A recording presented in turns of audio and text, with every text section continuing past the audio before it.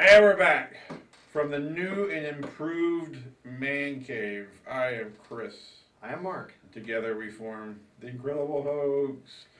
And right here, we'll talk for like 10 seconds here. So I'll show a painting of the new man cave. You'll see Star Wars stuff, Titan stuff, all the stuff that I like because this is my man cave and I can be selfish like that and just put stuff I like in it. So this, and we're all fancy now. We have a camera set up to record the Incredible Hokes that feeds mm. into some monitors. We can see ourselves. Right? Everything's fancy schmancy now on the Yes. Incredible Hokes. Yes. Moving up in the world. We're in the 21st century. Well, welcome. They're really at the very end of the twentieth, to be gracious, but okay.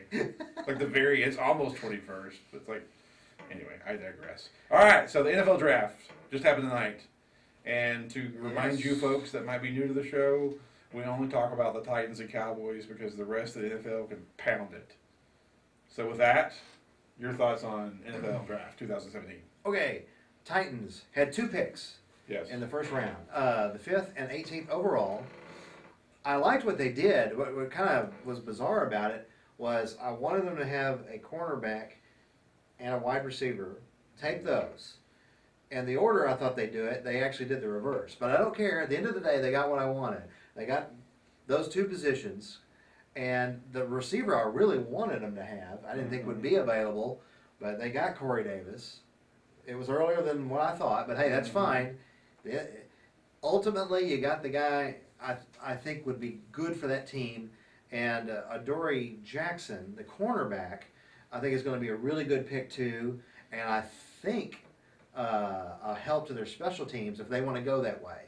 Sometimes teams are a little nervous about having uh, a player do two Right. things, but uh, if they go that way, he should have some mad skills about returning that football. And um, and then, uh, well, we're, we're on Titans. We'll do Cowboys in a minute. Well, maybe he'll be what Pac-Man Jones was supposed to be. right. minus all the insanity that is Pac-Man Jones. Pac-Man Jones came out; he was going to be a great return man, a good corner. And there was a Giants game that we came from behind like 21 points. And to be honest with you, if you go back and look at that game, it was basically him and Steve McNair alone won that game. Pac-Man Jones. So maybe we'll finally get the guy we we're supposed to get all those years ago. That's a return guy, shutdown guy, without the Yeah. scandal and heartache. Right. Uh, but real quick, Jon Robinson, I love my GM so far, so good. Following the new model, the correct model, the Patriots model, Right. the Indy of Peyton Manning model, drafting players, this Pittsburgh model, drafting players who actually are like they are that they fit that mold. This is Yeah. what they do. They meet the physical specs. They have plenty of experience in college. They, you know, at least Yeah. a a year, more like two year starter a lot of times of the players he looks at. Uh, you know, multi year starters, I should say, not two years, but multi year starters. Yeah. Not just like, oh, they started the last five games, and, you know, did really well, was a flash in the pan. So he sticks that model, proven, got football players, you know, balanced, you know, not head cases, balanced guys, hardworking guys, solid Mhm. guys.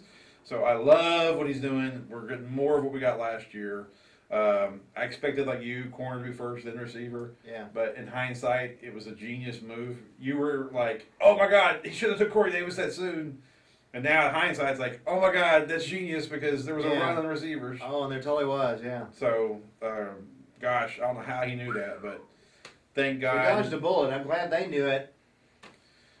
According to Corey Davis's stats, I mean, a three-year All First American All Team whatever guy. So Yeah. yeah. I'm excited. Mariota needs some targets.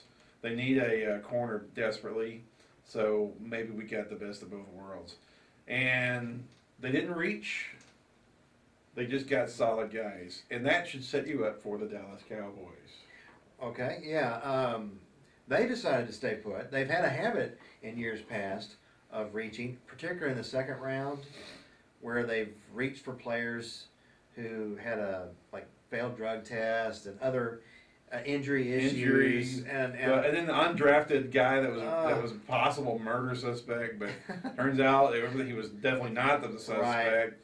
yeah, They've, they've reached on some guys, man. yeah, He's gamble. Jerry gambles. yeah. Well, it's more times than not, of late they've lost on those deals. Right. So here they kind of stayed put, and took a solid player uh, in pass rusher Taco Charlton, Mhm. and um it's a solid pick. It's not a wow pick. It's a solid pick. right. And somebody like Tony Tolbert, if, if you longtime Cowboys fans fans remember him from the, the Jimmy Johnson era, he was a solid anchor to that defense. Right. You know, and that's fine. If he can be that, if he can at least be Tony Tolbert, then this has been a really terrific pick. Um, I just think because they've missed recently with those second round pass rushers, Yeah. we're just kind of jaded. So we hope this guy will be better, but their recent history picking pass rushers has been off. So I'm just crossing fingers. But everything I hear and study about Taco Charlton says that this guy should be um, should be solid. Well, uh, solid. You know, we were talking about that before we started doing the show. Sometimes solid's good enough. Yeah, Uh, uh, I, I don't follow the pre-draft things like you do. I don't really follow college sports like you do, um, or college football rather. Anyway, so like whenever the draft comes, I'm always the guy that researches after the fact. So what I'll do tonight is read about Corey Davis and and and Taco and all this stuff. I'll read about tonight and oh, I'll catch up with who they are. So, you know, from what I saw on on TV, there's no real wow factor, like you said. But you know, sometimes solid is enough. Sometimes, right. and, you know, I mean, let's go back. I mean, I hate to be always bringing up the Patriots, but they're kind of they're the model for success in the last you know 15 years or whatever. You know, that first Super Bowl, there was no wow guy. No, I, not a one. no, You know, um, um, uh, Baltimore when they won their Super Bowl with with Ray Lewis, that first year it was Ray Lewis was the only wow guy really. yeah. So I mean, I mean, if I, unless I'm remembering something correctly, I mean they had a solid running game with Jamal Lewis, and uh, I know that's quite a few years ago. Uh, uh, uh, you know, Green Bay definitely had some wow guys. New Orleans definitely had some wow guys, but uh, Denver of just two years ago. I mean, other than that pass rush, definitely on offense was nothing. that Was going to Oh no, no, no world beaters on their offense. no. Anyway, my point is, I'm going a long way around the bend to say sometimes solid is enough, and maybe maybe that's exactly what Cowboys need is just Yeah. one more solid link in the chain. Well, You know, yeah. that's all. That's all I'm saying. Yeah, less gambling, and I'll take solid. Yeah. Yeah, exactly. I mean, If, if if five years from now he's a solid player Right. And those gambles the last few years are gone, well, hell yeah, you take the solid. Well, the player. last three quote pass rushers they've taken, Randy Gregory, gone again. It's going to be two seasons in a row. He's going to miss for, yeah, for failed pot, drug test. Pot, right? Yeah.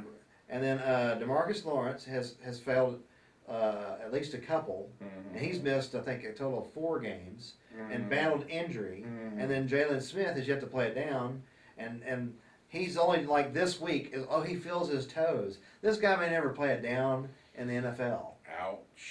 So so if I seem un, uh, over underwhelmed about this, So you have reason to be. you know, I have reason to be. But on the bright side, Jerry will be able to go crazy with merchandising, selling stuff with taco on it. And so I expect Cowboy Stadium to be renamed Taco Casa. Well, I don't know if I'm really top Taco Casa. As long as he's Taco Bueno, then we'll be I'll be fine. Yes. And definitely don't be Taco Bell. right, right, right. All right, well, we hope you like the new man cave. Maybe we'll we have versatility in here. We might Yes. actually shoot from different angles in here Yeah. because we got some pretty cool walls. This is the the Mac station behind us here. Yes. Maybe we'll do uh, in the future episodes Yes. because each wall is a little Because you different. got kind of like Sith Corner over here, yeah. and uh, an old school Atari over Yeah, I got Atari so- station stuff over there, and I got I don't know. It's just cool. Basically, my deal is like I just wanted to surround myself with the stuff I like when I do my work. So it's all a creative, weird Zen thing, I guess. Yeah. Speaking of weird and creative Zen, Hey, another awkward outro. Yay! that's what we specialize in. Bye.